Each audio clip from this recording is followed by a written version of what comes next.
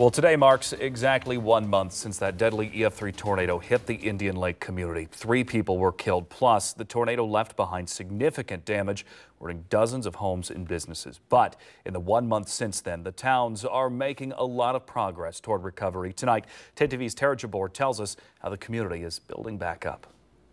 It's been a tough month for the Indian Lake community, but today signs are starting to pop up of normalcy, like businesses reopening their doors and people building back up their homes. Main Street in Lakeview is slowly coming back together. Signs of the tornado are still very present, but businesses like Honeybees Cafe and Ice Cream Shop are opening back up. The roof was completely gone. Of course, we had rainfall with the tornado as well, so it was essentially raining into the upstairs of the building. Some of that did trickle down stairs here.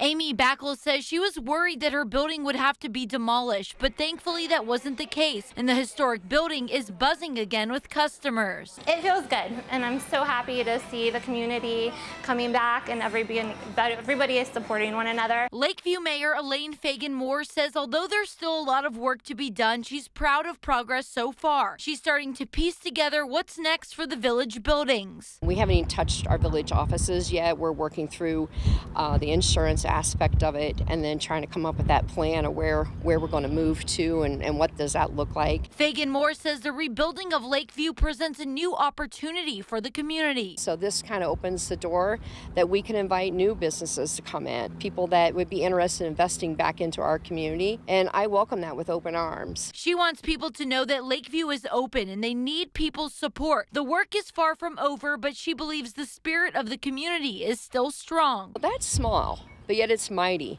And the many communities that came in to help us was amazing. And they brought a message of hope and love to us. And it was very, very, very felt. The future of Lakeview is in the hands of the people of the community. The small village is on its way back to normalcy. It's a long process. And it's, you know, we want to do it right but in order to do it right, we sometimes it goes slow. And we asked the mayor when or if they could receive money from FEMA. She told us that it's due process, but she's hopeful. Reporting in the studio, Tara Jabbour, 10 TV News.